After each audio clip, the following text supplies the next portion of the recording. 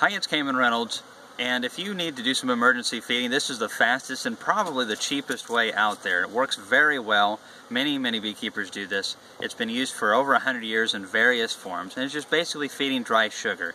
And you can literally put it on your colonies in freezing temperatures, and if your bees need fed, you need to go in there and take care of it. Now, anyone that knows me knows that I recommend at the end of your fall flow or even prior to the end of your fall flow go, flow, go in there and check your colonies, see their store levels. Typically your little colonies, for whatever reason, maybe late splits, maybe late swarms that you, you had, or maybe some colonies that superseded, didn't have the forager population, so they weren't able to capitalize on that fall nectar, and they need a little help. Getting it to them as quickly as you can is the best way to do it. I prefer liquid feeding. And that's why we don't do very much of this type of feeding. But when you need to do this, this can literally save your colony.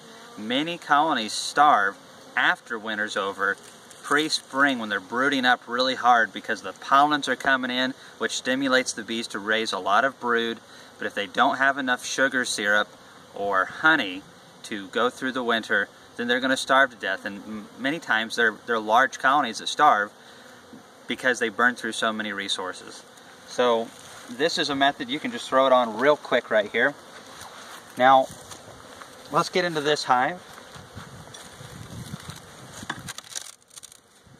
Our insulative board here, probably overkill in Tennessee, but hey, it's not that expensive to do it and it works good. So we got our screen here to keep them from chewing on that. And we got our inner cover inverted. And there's our little cluster of bees. So we're going to smoke them down a little bit. They'll probably not want to go down in this cool weather. It's, uh, I think it was 47 or 48 today.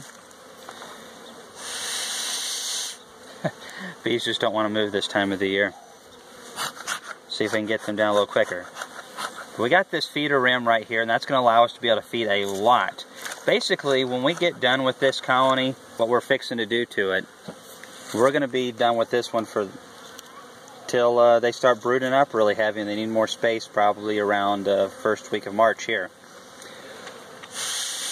Get on down, bees. So now what, one thing that I've done is I have spritzed this paper, just newspaper. Make sure you don't use any uh, pages that have political stuff on it because there's already enough parasites in the hive as it is, you know. Ah, sorry, I had to. Alright, so we're just going to stick this down get those bees to smoke down a little bit more. Now, I have already spritzed this, but it's dried out a pretty good bit. Now, you can use water. What do I do with my spritzer? Thanks, Laurel. You can just use re regular water. You just want to give it a little bit. This is really important because we don't want the sugar to stay broken up in little crystals. We want it to form a solid brick. So that moisture is really important. However, I've done one-to-one -one and used it in a bottle before, and that's great too because the bees are going to chew through that paper and get to this. Now, one thing you're going to want to do is make sure you score the paper. By the way, I did a video a while back, and I used parchment paper. It, did, it does not work good on little colonies. It's just too hard for them to chew through. They do a very good job doing it and, and using it, I mean, when the weather is warm, but when the weather is cool, they're just not very active. So the, the paper is so much easier for them to go through. Plus, I think it soaks in the sugar, and so it's, it's very attractive to them because it's kind of a sweet thing to chew through, but it's much softer. So definitely use the newspaper. The parchment will work on big colonies, but if you're feeding a little colony that doesn't have a lot of bees to warm the cluster, then I would definitely highly recommend using sugar. So you just get you a couple slits like that. And we've already spritzed it down. And a little bit more smoke. And we got the moisture underneath. Now you want to apply some moisture about every, well, about every inch and a half, give or take. And you're like, oh my goodness, add moisture to the colony? What in the world are you doing, Kamon?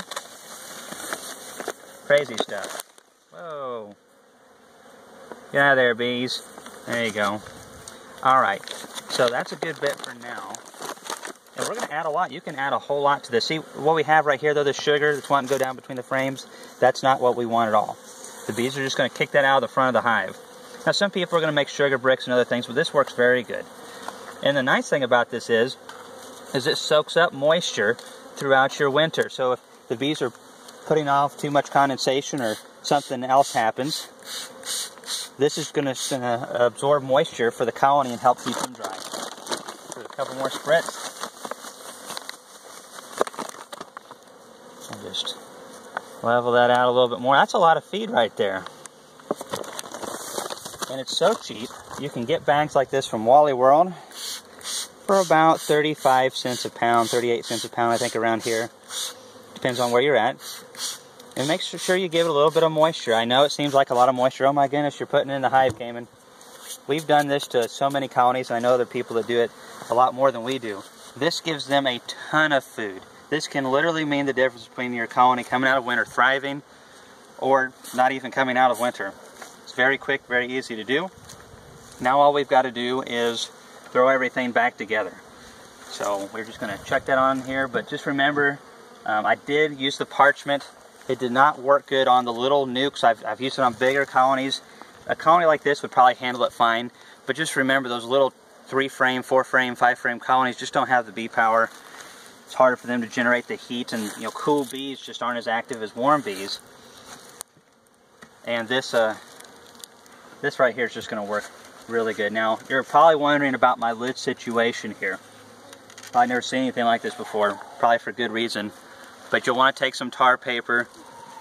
Kids are on the trampoline over there, sound like a bunch of coyotes. And take that parchment paper, not parchment, tar paper, and tape it on all four sides and keep that moisture from getting underneath any of those things. And that works really good here in mild Tennessee. Again, we're working up on Thanksgiving and it's 49 degrees, 48, something like that. So this is just a quick way you can feed. There's other methods out there. This one works very well. Very simple, very easy. And you can make your own feeder rim. This is one and a half inch feeder rim. You can just throw one of those together with a bunch of scrap wood lying around the house. So thanks for watching our videos. If you have any comments or questions about this type of feeding, leave them below.